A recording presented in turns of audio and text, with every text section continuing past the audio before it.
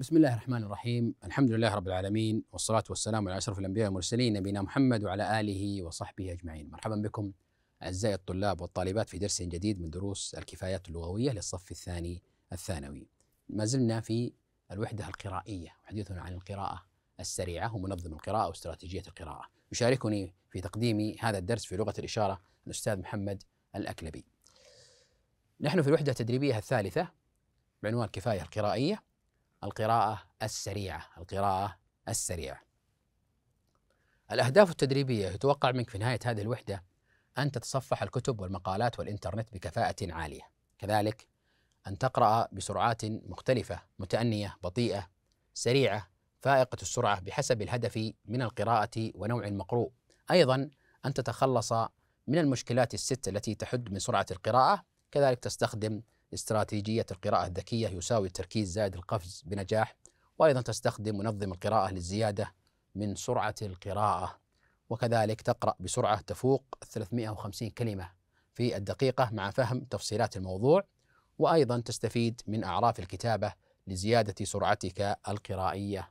وأخيرا تستخدم التعليقات والتلخيصات ورسوم التذكر لزيادة الفهم والاستيعاب. هذه هي أهم الأهداف التدريبية التي تتوقع منك بإذن الله تعالى في نهاية هذه الوحدة أن تكون قد أتقنتها. وصلنا إلى التدريب الحادي عشر. علق على النص الآتي بحيث توجه دلالته إلى تعلم السرعة القرائية. إلى تعلم السرعة القرائية. لاحظ هنا النص برمجة العقل. المؤلف بدر الحسين. كان نواف وسعود يلعبان المصارعة بالأيدي فصرع نواف شقيقه سعود. انتفض سعود وقال لن أدعك تغلبني بعد اليوم. سأشتري فيتامينات مغذية وأدوية مقوية. ابتسم نواف وقال سأهتم بتناول الغذاء النافع وتنفيذ التمارين الرياضية وسأكثر من الخضر والفواكه ولحم السمك. قال سعود الدواء أفضل من الغذاء. نواف الغذاء أكثر نفعا للجسم لأن الدواء له آثار جانبية على الجسم. سعود إن حبة الفيتامين الواحدة فيها فائدة سريعة لأن الجسم يمتصها بسرعة. نواف الغذاء متوافر أكثر من الدواء وثمنه أرخص وطعمه ألذ. أما الدواء فثمنه مرتفع وطعمه ليس محببا. سعود فوائد الدواء مؤكدة وسريعة لأن الذين انتجوه أناس مبدعون. نواف ما رأيك أن أهتم بغذائي وأنت تتناول أدويتك المقوية مدة شهر كامل؟ ثم نتصارع ونرى من منا أقوى. بدأ نواف بتناول الغذاء النافع والإكثار من التمرينات الرياضية بينما راح سعود يتناول الفيتامينات والمقويات. وبعد مرور شهر كامل ازداد وزن سعود وظن أنه سيصرع شقيقه لا محالة. وعندما تصارع الشقيقان صرع نواف شقيقه سعود ولم ينفعه وزنه الزائد أو دواؤه المقوي على حسب ظنه. أقر سعود الهزيمة وقرر في نفسه أن يكف عن تناول الفيتامينات وأن يهتم بالغذاء والرياضة. الكتاب الحوار مع الطفل. لاحظ هنا برمجة العقل ما التعليق؟ علق على النص. بحسب فهمك ما الألفاظ مؤثرة ما الذي دار في النص إلى آخره. ثم يقول بحيث توجه دلالته إلى تعلم السرعة القرائية. وجه ذلك إلى تعلم السرعة القرائية بحسب النص. جميل. هنا نقول مثلا هذا الحوار بإمكان أن يجرى أن يجري بطريقة مختلفة. أخ يتدرب على القراءة. أخ يتدرب على القراءة وآخر وآخر معتمد على قدراته السابقة والشروحات كما هو نواف سعود. اذا هذا الحوار بإمكان أن يجرى يجرى بطريقة مختلفة. أخ يتدرب على القراءة وآخر معتمد على قدراته السابقة والشروحات. هنا حدد موقفك الشخصي من الافكار القرائية الآتية. بكتابة تعليقاتك عليها، طبعا وهذا نشاط ذاتي وسنجيب نحن عليه، ما الفكرة؟ إنك تقرأ بشكل مختلف وفقا لغرضك. وإذا ما كانت هناك تعليمات لك بالقراءة ببطء وعناية من أجل الإجابة على أنواع معينة من الأسئلة فإنك سوف تفعل ذلك. كما أنه إذا طلب منك أن تقرأ بسرعة فائقة فإنك تفعل ذلك دون الاهتمام كثيرا بالمحتوى. وهنا علق على ذلك وسنذكر الفكرة والتعليق. كذلك الفكرة الأخرى ليست القراءة وظيفة العين ولا حركة اليد. القراءة عمل العقل. لقد التقيت بمئات الناس الذين تلقوا دورات في القراءة السريعة ولم أجد أحدا يستخدم هذا المنهج حتى الآن والسبب في ذلك بسيط فالقراءة السريعة تفيد من أجل السرعة فقط ليس الفهم وليس التفكير وليس التذكر وهي لا تساعدك على أن تدرس بعناية المعلومات التي حصلت عليها وأن تنظر كيف تستخدمها في العمل. هنا أيضا فكرة ثم ستأتي بتعليق. كذلك فكرة أخرى من لا يضيف لقراءته المزيد من عمليات التخطي والتصفح فإنه لن يكون قد تعلم فن القراءة. أيضا من الأفكار ليست القراءة السريعة الفعالة هي القراءة بشكل أسرع فقط بل هي القراءة بشكل أذكى فهي تمزج بين كل من المهارات المتبادلة للتركيز والفهم والاسترجاع والسرعة. لاحظ هذه الأفكار ونقول حدد موقفك الشخصي من الأفكار القرائية بكتابة التعليقات ما رأيك؟ وهنا الفكرة الأولى أنك تقرأ بشكل مختلف وفقا لغرضك. وإذا ما كانت هناك تعليمات لك بالقراءة ببطء وعناية من أجل الإجابة عن أنواع معينة من الأسئلة. فإنك سوف تفعل كما أنه إذا طلب منك أن تقرأ بسرعة فائقة فإنك تفعل. دون الاهتمام كثيرا بالمحتوى ما رأيك؟ جميل. هنا التعليق نقول الدافع من القراءة هو الذي يحدد طريقة القراءة. والدافع من القراءة هو الذي يحدد طريقة القراءة. أن تقرأ بسرعة أو أن تقرأ ببطء. كذلك هنا ليست القراءة وظيفة العين ولا حركة اليد.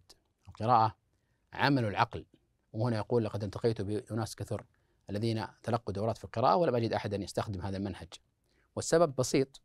فالقراءة تفيد من أجل السرعة فقط. ليس الفهم وليس التفكير وليس التذكر. وهي لا تساعدك على أن تدرس بعناية المعلومات التي حصلت عليها وأن تنظر كيف تستخدمها في العمل. ما رأيك؟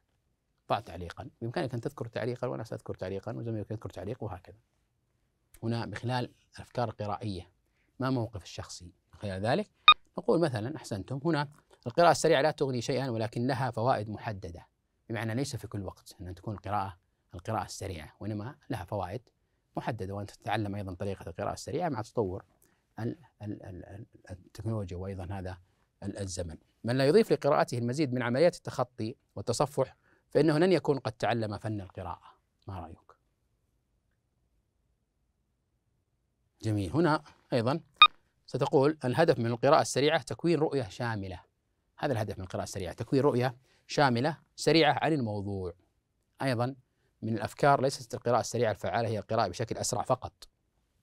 بل هي القراءة بشكل أذكى فهي تمزج بين كل من المهارات المتبادلة التركيز والفهم والاسترجاع والسرعة. ما رأيك؟ هي صحيح يتم تفعيل أكثر من حاسة. يتم تفعيل أكثر من حاسة وهنا أوافق طبعا توافق ذلك وهذا هذه صحيح أنها ليست فقط القراءة بشكل أسرع فقط وإنما هي القراءة بشكل أذكى. القراءة بشكل أذكى. أحسنت. هنا الثالث عشر هل يمكنك قراءة جميع النصوص؟ ولاحظ هنا. هذا نص يختلف عن بقية النصوص وهنا أيضا بإمكانك أن تأتي بمؤقت وأن تحسب أيضا القراءة هل يمكنك قراءة جميع النصوص بمستوى عال من السرعة؟ ما الأسباب التي تجعل بعض النصوص غير قابلة للقراءة السريعة؟ بعض النصوص لا تستطيع أن تقرأها قراءة سريعة ما صفات النص الذي يمكن أن تقرأه بسرعة فائقة؟ للإجابة عن هذه الأسئلة قدر سرعتك في قراءة كل من النصين اللاحقين ثم اكتب التعليق طبعا سنبدأ بالنص الأول ثم بعد ذلك النص الثاني وسنحسب الفرق بين السرعتين احسب ضع مؤقتا واحسب أيضا سرعتك القرائية. باب في العي. طبعا هذا من البيان والتبيين للجاحظ. قال أبو عبد الملك وهو الذي كان يقال له عناق كان عياش وثمامة حي يعظمني تعظيما ليس في الدنيا مثله. فلما مات ثمامة صار ليس يعظمني تعظيما ليس في الدنيا مثله. وقال له عياش بن القاسم بأي شيء تزعمون؟ أن أبا علي الأسواري أفضل من سلام أبي المنذر. قال لأنه لما مات سلام أبو المنذر ذهب أبو علي في جنازته فلما مات أبو علي لم يذهب سلام في جنازته. وكان يقول فيك عشر خصال من الشر أما الثانية والرابعة كذا وأما السابعة كذا وأما العاشرة كذا. قال قلنا للفقعسي كيف ثناؤك على حمدان بن حبيب؟ قال هو والله عندي الكذا الكذا. وقال الخرداذي آجرك الله وعظم أجركم وآجركم. فقيل له فيما ذلك؟ فقال هذا كما قال عثمان بن الحكم بارك الله لكم وبارك الله عليكم وبارك الله فيكم. قالوا له ويلك إن هذا لا يشبه ذاك. وكتب إلى بعض الأمراء أبقاك الله وأطال بقاءك ومد في عمرك. وكان أبو إدريس السمان يقول وأنت فلا صبحك الله إلا بالخير. ويقول وأنت فلا حي الله وجهك إلا بالسلام وأنتم فلا بيتكم الله إلا بالخير. ومر ابن أبي علقمة فصاح به الصبيان فهرب منهم وتلقاه شيخ وعليه ضفيرتان فقال له يا ذا القرنين إن يأجوج ومأجوج مفسدون في الأرض. وضربت بنو مازن الحتاة بن يزيد المجاشعي فجاءت جماعة منهم فيهم غالب أبو الفرزدق فقال يا قوم كونوا كما قال الله لا يعجز القوم إذا تعاونوا. وتزعم بنو تميم أن صبرة بن شيمان قال في حرب مسعود والأحنف إن جاء حتاة جئت وإن جاء الأحنف جئت وإن جاء حارثة جئت وإن جاءوا جئنا وإن لم يجيئوا لم نجيء. وهذا باطل وقد سمعنا لصبرة كلاما لا ينبغي أن يكون صاحب ذلك الكلام يقول هذا الكلام. قال أبو كعب كنا عند عياش بن القاسم ومعنا سيفويه القاص فأتينا بفالوذجة حارة فابتلع سيفويه منها لقمة فغشي عليه من شدة حرها. فلما أفاق قال مات لي ثلاثة بنين ما دخل جوفي عليهم من الحرقة من الحرقة ما دخل جوفي من حرقة هذه اللقمة. وقال أعرابي خلق السماء وأهلها في جمعة وأبوك يمدر حوضه في عام. ما التعليق؟ هنا أغلق المؤقت وأعلق على السرعة القرائية لهذا النص. باب في العي وهو للجاحظ في البيان والتبيين للبيان والتبيين. هنا السرعة القرائية. كيف كانت سرعتك القرائية؟ مقارنة بالنصوص الأخرى. أحسنتم. هنا 30 كلمة تقريبا في الدقيقة لو قلت أنا. بإمكانك أن تقيس السرعة طيب ما الأسباب؟ ما الأسباب؟ جميل هنا صعوبة الكلمات وغرابة الألفاظ. لذلك النص فيه كلمات صعبة وغريبة. أيضا غموض المعنى سمة غالبة في النص السابق ولا يجدي معه القراءة السريعة. إذا ليس كل النصوص تستطيع أن تقرأها قراءة قراءة سريعة وهذا هو الهدف. ليس كل النصوص سنقارن نصا آخر ثم بعد ذلك سنذكر التعليق. الكوب المملوء هذا النص لإبراهيم الفقي. أيضا ضع مؤقتا واحسب أيضا سرعة القرائية لك. كان أحد الشبان شغوفا بمعرفة سر السعادة فسأل عنها كثيرا من الناس إلى أن نصحه أحدهم بزيارة قرية معينة في الصين بها رجل حكيم طاعن في السن سيدله على سر السعادة. وبدون أي تردد استقل أول طائرة إلى الصين وتوجه فورا إلى قرية الحكيم فدلوه على بيت الحكيم وطرق بابه ففتحت له سيدة كبيرة كبيرة في السن ورحبت به وأخذته إلى الصالون وطلبت منه الانتظار وطال انتظاره لأكثر من ثلاث ساعات. أحس فيها بالغضب الشديد من إهمال صاحب البيت له وأخيرا ظهر الرجل الحكيم بمظهره البسيط وملابسه المتواضعة جدا. وجلس بوقار إلى جانب الشاب وسأله وعلى وجهه ابتسامة عما إذا كان يرغب في تناول قليل من الشاي. كان الشاب في تلك اللحظة على وشك الانفجار قائلا في نفسه لقد تركني هذا العجوز لأكثر من ثلاث ساعات بمفردي وعندما ظهر لم يعطني أي مبرر لتأخره ولم يعتذر عن ذلك والآن يسألني بكل بساطة عما إذا كنت أرغب في تناول الشاي وبينما كان الشاب منهمكا في تفكيره كان غضبه يزداد حتى سأله الرجل مرة أخرى بهدوء عما إذا كان يريد أن يتناول قليلا من الشاي فرد عليه الشاب بغضب قائلا نعم أريد أن أتناول الشاي. فطلب له كوبا من الشاي وجلس بهدوء إلى جانبه ولما حضر الشاي أخذ الحكيم يصب الشاي في الكوب إلى أن امتلأ وأخذ يسيل خارج الكوب. وهو ما زال مستمرا في صب الشاي. فنهض الشاب وانفجر في الرجل الحكيم قائلا ألا ترى أن الكوب قد امتلأ وأن الشاي قد سال خارجه وملأ المكان؟ فرد الحكيم وقال بابتسامة هادئة أنا مسرور لأنك استطعت أن تقوم بالملاحظة أخيرا.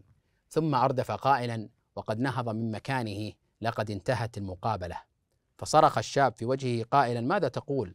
لقد سافرت كل هذه المسافة وتركتني في وتركتني في انتظارك أكثر من ثلاث ساعات وملأت كل المكان بالشاي والآن تقول إن المقابلة قد انتهت هل أنت تمزح معي؟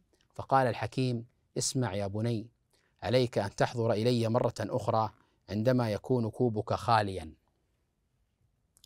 فسأله الشاب عما يقصده بذلك فرد الحكيم عندما يكون الكوب مملوءا بالشاي لا يمكن أن يستوعب أكثر من ذلك وبناء عليه إذا مكثت تصب فيه أكثر مما يمكنه أن يستوعب فإنك ستتلف الكثير من الأشياء حولك.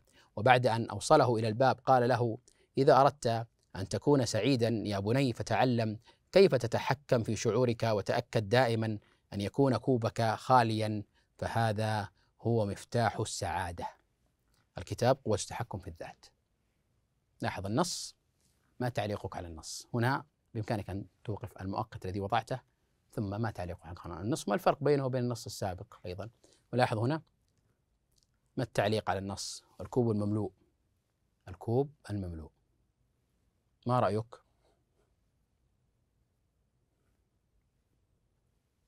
السرعة القرائية كيف كانت؟ جميل. نقول مثلا 80 كلمة في الدقيقة. 80 كلمة في الدقيقة هنا في السرعة القرائية. ما الأسباب؟ طبعا تحسب الزمن زائد عدد كلمات النص. طبعا تقسيم أن تقسم عدد كلمات النص تقسيم الزمن ثم تظهر فيه السرعة. ما الأسباب هنا؟ مقارنة بالنص الأول نص العي والنص الكوب المملوء. أحسنت هنا وضوح الهدف وسهولة الألفاظ. إذا النص يعني السرعة القرائية أيضا يحكمها النص. فإذا كان النص سهل واضح الهدف ليس فيه غموض. وسهلة ألفاظه سهلة. بإمكانك أن تقرأ بسرعة بعكس النص اللي يكون فيه شيء من من الغموض والألفاظ. أيضا فيها شيء من من الصعوبة والغرابة. هذا الذي يختلف في السرعة القرائية. أحسنتم. جميل. هنا إن من أهدافك من أهداف تدريبك على تسريع القراءة إن من أهداف تدريبك على تسريع القراءة زيادة كفاءتك في قراءة مقرراتك الدراسية. والآن عليك أن تتصفح أربعة مقررات على الأقل في حدود عشر دقائق لكل مقرر. عندك مقررات تصفح في حدود عشر دقائق لكل لكل مقرر وأن ترسم شجرة ذاكرة لكل مقرر منها. اعرض رسومك على المعلم المختص واطلب منه تنقيحها ثم قدمها لمعلم القراءة. بعد ذلك وهذا أيضا نشاط منزلي بإمكانك أن تتصفح أيضا مقررات ثم تضع أيضا رسم لهذا المقرر ذاكر لكل مقرر في حدود عشر دقائق.